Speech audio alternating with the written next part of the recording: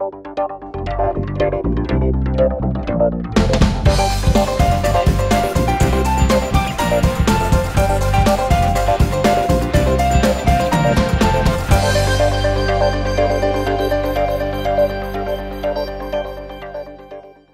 السلام علیکم خواتین حضرات، میں ہوں آپ کا میزبان شاہمی حسن اور ویلکم کرتا ہوں آپ کو ہمارے چینل کنزیومر پاکستان میں۔ ناظرین کرام ویسے تو ہماری زیادہ تر نیوز کافی ہی زیادہ اسردگی اسردگی بھری ہوتی ہے، لیکن اب جو نیوز میں آپ کو سنانے والا ہوں، یہ کافی زیادہ افسوسناک ہے کیونکہ یہ جو ہے وہ ایک سچ ہے اور کافی زیادہ کڑوا سچ ہے، کافی افسوسناک سچ ہے جو ہم سب کو جو ہے وہ نکالنا ہوا اس کی وجہ یہ ہے کیونکہ ہمارے ملک پاکستان میں اور ایشیا میں سب سے زیادہ یہ ہوتا رہتا ہے، ہندوستان، پاکستان میں۔ کیونکہ میں اپنے ملک کی بات کروں گا تو بتاتا چلوں کہ پاکستان میں سب سے زیادہ یہ ہوتا رہتا ہے اور وہ ہے کم سنی کی شادیاں۔ جی ہاں وہ بچپن کے دن جب ایک کم سن لڑکی گڑیاں سے کھیل رہی تھی، کھلونے کھٹے کرتی تھی اور چھوٹے چھوٹے گروندے بناتی تھی۔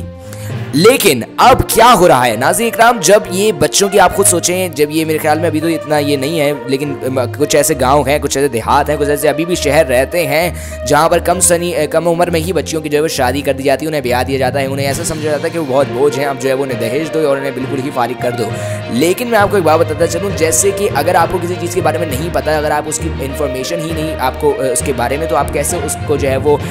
کسی کے ہاتھ دے سکتے ہیں؟ اب آپ خود سوچیں، جیسے چائنا میں کچھ یہ ابھی ہوا تھا، میرے خیال میں سال، ڈیڑھ سال پہلے کہ کچھ چائنیز آئے تھے انہوں نے یہاں پر لاہور میں آ کے کچھ پاکستانی لڑکیوں سے، مسلمان پاکستانی لڑکیوں سے شادی کری تھی اور اس کے بعد جو ہے انہوں نے چائنا میں جا کے جو بد سلوکی کری ان کے ساتھ، جو انہوں نے اپنا، جو بھی انہوں نے کرا، وہ ایک بہت ہی میں آپ کہنا چاہتا ہوں، میرے پاس اتنے الفاظ ہیں نہیں ان کے لیے کچھ کہنے کے لیے، لیکن جو بھی انہوں نے درندگی دکھائی ان لوگوں کے ساتھ ان کے ساتھ، وہ جو ہے وہ پورے پاکستان کے سامنے ہی تھی، پوری دنیا کے سامنے تھی اور یہ دنیا کی انسانیت کو بہت زیادہ جھٹکا لگا تھا اس بات سے کہ یہ ایسا کیسے ہو سکتا ہے، اتنے کرول لوگ کس طرح ہو سکتے ہیں، ظلم،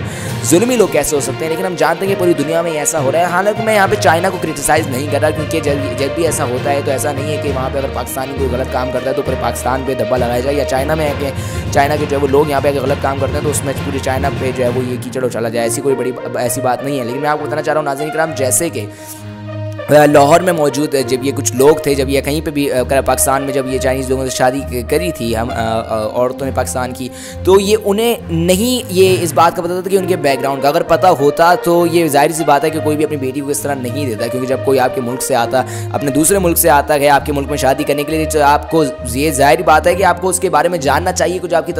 تفصیلات نکالنی چاہیے، ایسے ہی اپنی بیٹی کا ہاتھ اس کے ہاتھ میں نہیں دے دینا چاہیے۔ آپ تو ایسے اس کو جو ہے وہ سائیکل بھی نہیں دیں گے، تو آپ کیسے اپنی بیٹی دے سکتے ہیں۔ خیر ناظرین کرام جو لوگ سمجھتے ہیں بیٹے ہیں بوجھ ہیں، تو وہ تو میرے خیال میں نہیں سمجھ پائے کہ اللہ تعالیٰ نے کیوں جو ہے وہ بیٹیاں بنائی ہیں۔ خیر، اگر وہ نہیں سمجھ پائے تو میرے خیال میں آپ کو ویڈیو چھوڑ دینی چاہیے اور آپ کو جو ہے وہ سب سے پہلے قرآن پڑھنا چاہیے تاکہ آپ کو تھوڑی اور سمجھ لگے اللہ تعالیٰ کے الفاظ کے بارے میں۔ تو کیونکہ جو ہے وہ ان لوگوں کو کوئی معلومات نہیں ہوتی ان کو جو ہے وہ کوئی جانکاری نہیں ہوتی ان کو کوئی ایجوکیشن نہیں ہوتی اس وجہ سے جو ہے وہ اتنا ہی جو ہے بے وقوفانہ جو جہالت کرانا جو ہے وہ قدم اٹھاتے ہیں کہ اپنی بیٹیوں کو ان ہاتھوں میں دے دیتے ہیں جن کے بارے میں انہیں ایک الفاظ کی بھی نالج نہیں ہوتی اسے انہیں پتہ ہوتا ہے کہ اگر وہ جو ہے وہ ہمارے دماغ جو ہے ان کی طرف سے ہمیں پانچ چھ لاکھ روپے مل جائے گا ایسا ہوا تک جب یہ پتہ لگا کہ چائنیز لوگوں نے جو ہے وہ جنہوں نے شادی کری تھی انہوں نے ان لڑکیوں کے ماں باپ کو جو ہے وہ پانچ پانچ دس دس لاکھ روپے دیے تھے تبھی جو ہے انہوں نے کوئی بھی جانکاری یا معلومات دینے کی ضرورت ہی نہیں سمجھی اور انہوں نے اپنی بیٹیوں کو ایک دو مہینے بعد ہی بیاہ دیا یہ سوچ کر کہ ان کی بیٹیاں وہاں جا کے بہت خوش رہیں گی اب یہ جو مسئلہ ہے میں کیونکہ بات کر رہا ہوں کہ کم عمر شادی میں یہ پورے پاکستان میں بہت ایسی جگہوں پر ہو رہا ہے حالانکہ پاکستان ایجوکیشن کی طرف آ رہا ہے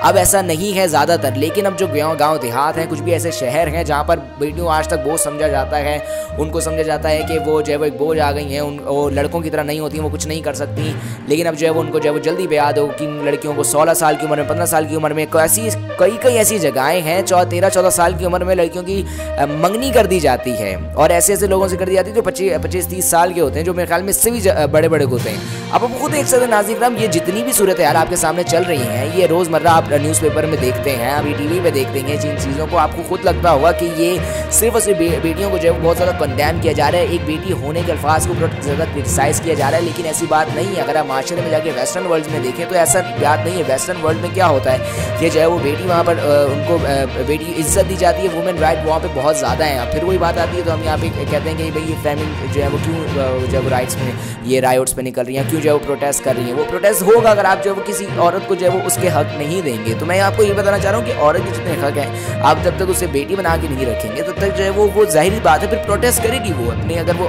آپ سے نہیں کر سکتی تو وہ اندر اپنے آپ سے لڑے گی۔ خیر ناظرین اکرام اس ویڈیو میں اتنا ہی بتانا چاہوں گا، یہی گزارش ہے آپ سے کہ کوئی بھی فیصلہ کیجیے اپنی بچوں کے حوالے سے یا کسی کے بھی حوالے سے، گزارا، جان کر کیجیے، پہچان کر کیجیے، انفارمیشن رکھیے اس کے مطابق یہ برا وقت بتا کر نہیں آتا اور ایسا ہو رہا ہے۔ جی ہاں میں آپ کو بتاتا چلوں، ایسا ہو رہا ہے تو اپنی بچیوں کی پسند کو بھی جانیے اور ان کا خیال کیجیے انہیں پڑھائیے، لکھائیے۔ ایک ایجوکیٹڈ پاکستان بنانے کے لیے مشن ہے میرا، اور کوئی مشن نہیں ہے۔ اللہ نگبان